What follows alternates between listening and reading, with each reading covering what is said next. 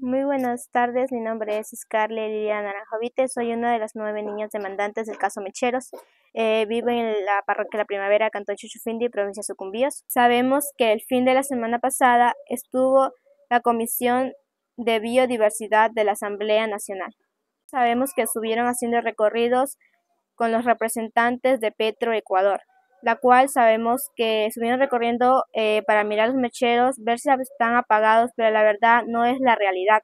Y queremos que hagan el recorrido con nosotros, el pueblo, que sí sabemos la realidad que está pasando en nuestra Amazonía, la cual exigimos que se cumpla la sentencia tal y cual como está, debido a que se están empatando los mecheros hacia otras estaciones, creando megamecheros, la cual están mucho más cerca de nuestros pueblos. Agradecemos a las niñas de, las nacionalidades que se han unido a nosotros en esta causa. Les damos mucho apoyo y esperemos que nos siga apoyando a nosotros en esta lucha, la cual es por nuestro bienestar, por nuestras futuras generaciones y por la naturaleza.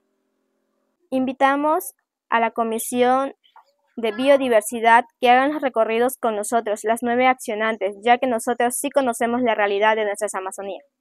Nosotras siempre estaremos aquí pendientes de que se eliminen todos los mecheros y ese gas lo reutilicen de forma positiva por el bienestar de nuestro país.